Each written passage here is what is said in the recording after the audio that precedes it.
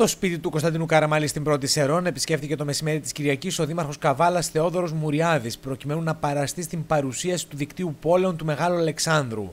Πρόκειται για μια σύμπραξη μακεδονικών πόλεων και περιοχών, οι οποίες μέσω της περίφημης μακεδονικής ιστορίας θα αναπτύξουν κάθε μορφή πολιτισμού, αθλητισμού, τουρισμού και εκπαίδευσης.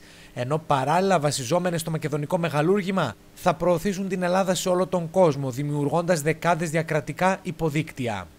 Στον σύντομο χαιρετισμό του, ο Δήμαρχος Καβάλας, αφού επισήμανε πως θα στηρίξει με όλες του τις δυνάμεις το δίκτυο πόλεων Μεγάλου Αλεξάνδρου, τόνισε μεταξύ άλλων ότι αν θέλουμε να αναπτύξουμε τους Δήμους μας, είτε τουριστικά είτε ακόμα και ιστορικά, θα πρέπει να συνεργαστούμε μεταξύ μας.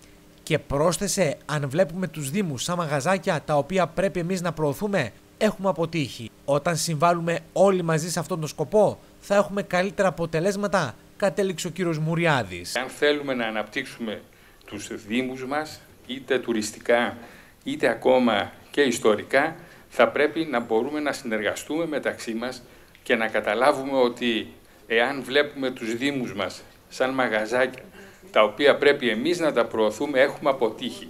Όταν όμως όλοι μαζί συμβάλλουμε σε αυτό το σκοπό, θα είναι και καλύτερα τα αποτελέσματα. Πέρα αυτό που είπα και προηγούμενα, ότι πέρα από την ανάδειξη της ιστορίας μας, έχουμε, κάνουμε και κάτι άλλο.